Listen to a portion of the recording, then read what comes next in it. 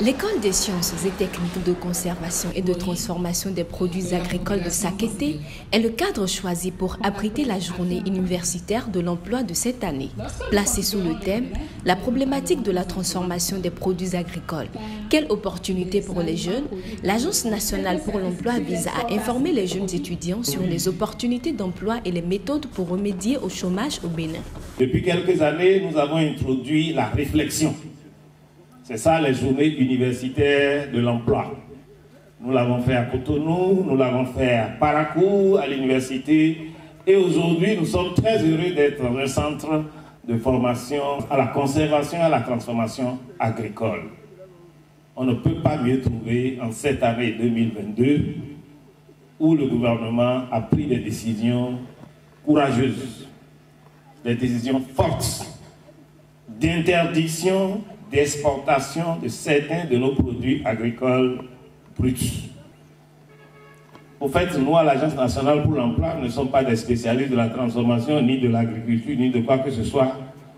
Mais cette décision implique la création, la démultiplication de l'emploi, et c'est cela qui nous intéresse, c'est pour cela que nous sommes là aujourd'hui, pour faire voir à nos jeunes étudiants en quoi la transformation peut créer une opportunité d'emploi pour des milliers, des millions de jeunes dans notre pays. Deux panels ont contribué à l'atteinte de cet objectif.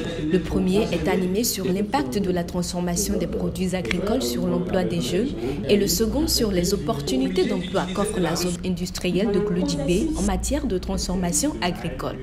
Des thématiques qui ont instruit les jeunes participants. Aujourd'hui, nous sommes appelés à entreprendre pour pouvoir bénéficier des opportunités qui s'offrent à nous, surtout eh, au niveau de la zone industrielle de Glodjigbe. Dans ce monde maintenant, on ne peut plus se baser sur une seule chose et que peu importe ton diplôme, il faut se baser dans beaucoup de choses et avoir des opportunités comme l'ANPE qui nous donne l'opportunité de l'accession de beaucoup d'emplois.